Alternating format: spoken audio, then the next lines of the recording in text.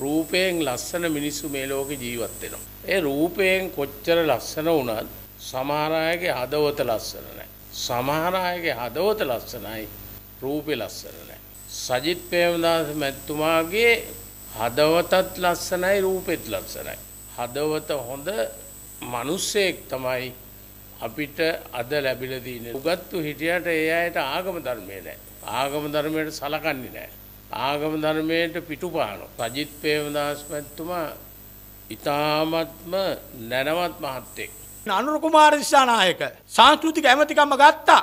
ග්‍රාමීය සංවර්ධන අමාත්‍යංශයේ ගත්තා. ඒ වගේම දීවර අමාත්‍යංශයේ ගත්තා.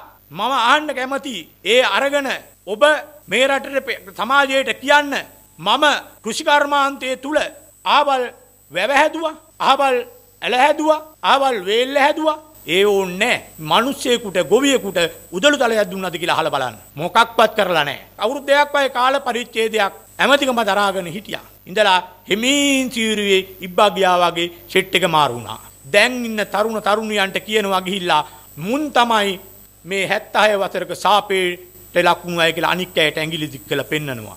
ඒ හැම සාපේකම පිටිපස්සේ එහෙමනම් ඉන්න ඕන කවුද? අනුර කුමාර දිසානායක ඇතුළු ওই කණ්ඩායම.